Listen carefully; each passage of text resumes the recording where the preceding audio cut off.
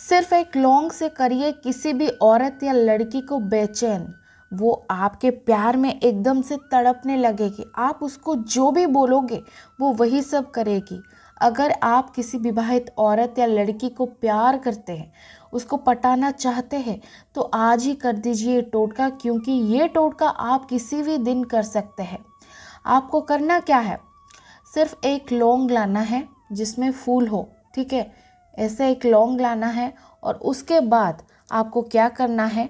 एक कोरे कागज़ के ऊपर पहले उस औरत या लड़की का नाम लिखना है जिसको आप प्यार करते हैं, जिसको आप अपने वश में करना चाहते हैं।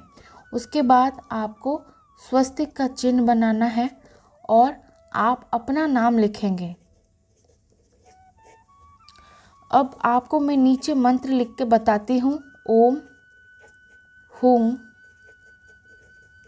अमुकी, मैं वश्यम कुरु कुरु, स्वाहा। अब आपको क्या करना है? इस लौंग को ऐसे हाथ में पकड़ना है।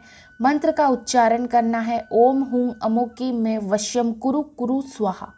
अमुकी जो है, उसके जगह पे आपको उस औरत या लड़की का नाम उच्चारण करना है, जिसको आप अपने वश में करना चाहते हैं।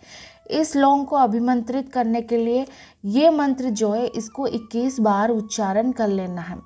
21 बार आपने उच्चारण कर लिया, ये लौंग जो है, अभिमंत्रित हो जाएगा। इसको क्या करना है, आप अपने घर में, अपने पास संभाल के आपको रखना है। तब तक रखना है, जब तक वो लड़की या औरत आपसे बात ना करे। वो खुद आके आपसे बात करेगी या फिर आपको देखने के लिए आ जाएगी। इतना करते ही आपको समझ जाना है कि आपका काम जो है वो सिद्ध हो गया। उसके बाद आपको इस लौंग को लेके पानी की जगह पे इसको फेंक के आ जाना है। ये टोटका आपको सिर्फ़ शाम के छः से लेके रात के नौ बजे के अंदर करना है।